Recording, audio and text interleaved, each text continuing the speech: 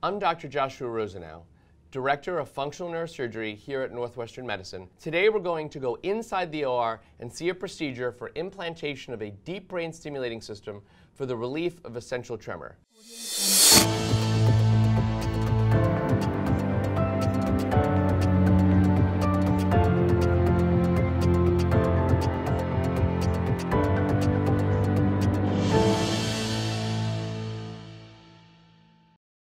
Deep brain stimulation is a minimally invasive, reversible, and adjustable procedure that involves sending small amounts of electricity to structures deep in the brain for relief of neurological symptoms. Hello. Our patient today suffers from essential tremor. She has already failed treatment with multiple medications and has elected to undergo deep brain stimulation to help significantly reduce her symptoms and improve her quality of life. So in the operating room today, we have an intraoperative CT scanner. We will use it at the beginning of the procedure to help get a scan of the patient while she has a device on her head called a stereotactic frame. That helps us both hold the patient steady on the operating table, hold all of our equipment as we do the very delicate task of placing an electrode deep in the patient's brain, and helps provide us with coordinates in a kind of XYZ fashion to target those areas. So the CT scan has now been localized and merge with the MRI, and we have all the data that we need to now target the deep brain structures in the thalamus and do the operation. The brain itself, surprisingly, has no pain nerves, so we can operate on the brain without the patient ever feeling anything.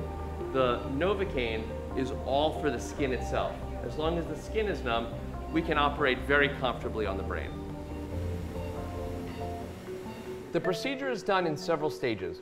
The first part of the procedure, where we put the electrode in place, is done with the patient under intravenous sedation for part of the procedure and fully awake for part of the procedure when we do the brain mapping. This is going to be a little more interactive. We use what's called physiologic mapping or brain mapping. That's when we'll have the patient fully awake. Can you say Wrigley Field? And we'll be able to listen to the brain activity. What we'll hear are cells that respond to movement, and so I'll be moving the patient's arm around and listening as those cells fire to hear if they change their pattern in response to the movements that I make. Once we've determined with our recordings and our physiologic mapping where we want the electrode to be, we'll implant the permanent electrode and then we'll turn that on. Once we're satisfied with everything, she will be given more intravenous sedation to go back to sleep, and we'll begin the process of anchoring the electrode down and burying it under the skin, sewing the electrode up.